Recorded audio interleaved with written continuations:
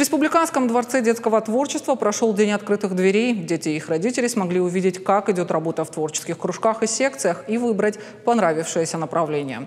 Мероприятие уже стало доброй традицией, его проводят ежегодно. Гостей порадовали и праздничным концертом. Подробнее в материале моих коллег. У шестилетней Томы Ибрагимовой по-настоящему яркая и насыщенная жизнь. Ребенок занимается гимнастикой, вокалом и рисованием. С восторгом рассказывает, любимые увлечения помогли обрести много новых друзей. Есть у девочки и другие интересы. Она давно мечтала стать актрисой. В этом году родители привели ее во дворец детского творчества. Теперь Тома – ученица музыкального театра «Премьера». Я люблю очень сильно гимнастику и люблю туда ходить. Там очень многого интересного. Можно кидать булавы, лентой заниматься и мечами. Мы там тренируемся, делаем шпагаты и колесо. А сегодня я хочу записаться на актерское мастерство. Юлиана Гудиева тоже воспитанница Дворца пионеров. Занималась в секции художественной гимнастики. Юлиана вспоминает, сразу полюбила этот спорт. Теперь она сама педагог, готовит юных гимнасток к большим спортивным свершениям. Признается, успехи воспитанниц ни с чем не сравнимое счастье. Детское увлечение стало делом всей моей жизни.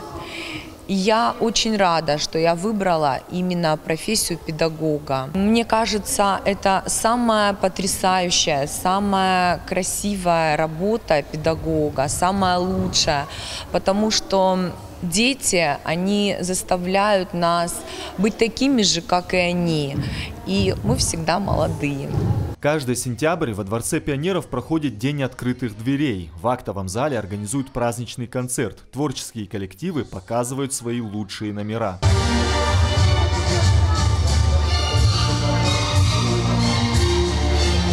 Этой доброй традиции уже 47 лет. Дворец детского творчества – символ и гордость Осетии. В этих стенах тысячи детей обретают полезные знания и умения. В прошлом году у нас 1284 обучающихся стали призерами международных, всероссийских и республиканских конкурсов очень большое количество участников вообще.